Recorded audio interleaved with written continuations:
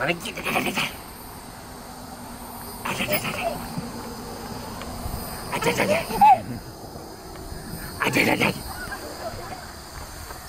gonna get you with his camera, because that's what he